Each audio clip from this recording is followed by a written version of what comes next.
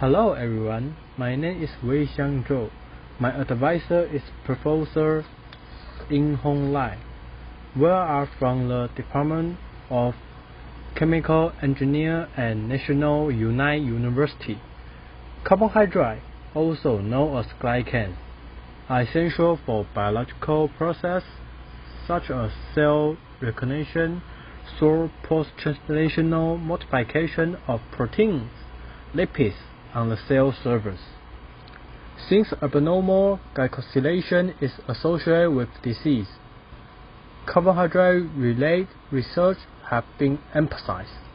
However, the analysis of carbohydrate is very difficult due to complex structural difference. For example, composition, connective configuration, and then the composition of carbohydrate is determined by their monosaccharide content.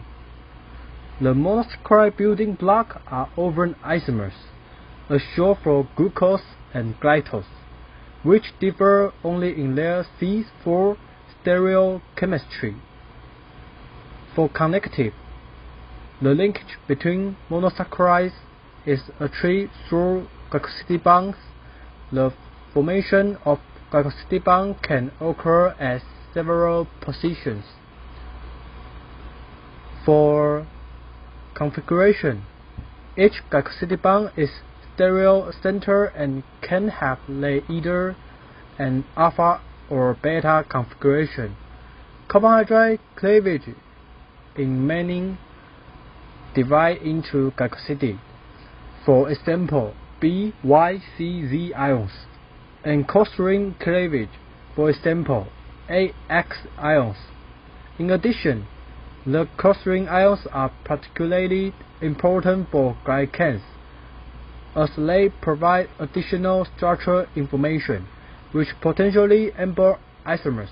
In this work, we use a quartz-tungsten halogen light source, mean to QTH light source.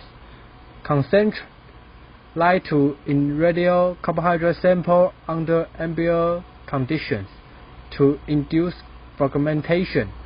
We will select as the sample of nigerotriose, laminary trials, trials, because they have same molecular weight.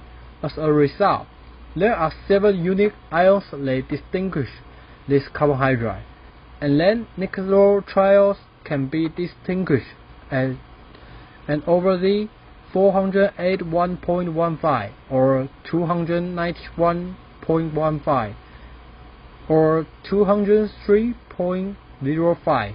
Laminaritriose can be distinguished at an overly 423.11 and then cellotriose can be distinguished at an overly 421.13 or 291.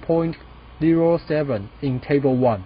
However, the actual increase in fragment ions is not only listed present in Table 1. The carbohydrates are produced more fragment ions by QTH than control group in Fig 3, Fig 4, Fig 5. Therefore, the fragment ions are produced by QTH that help distinguish carbohydrate of these isomers. The QTH has great potential for analyzing other carbohydrates. In the future, QTH is expected to be applied to the analysis of carbohydrates with complex structures. Thank you your listen.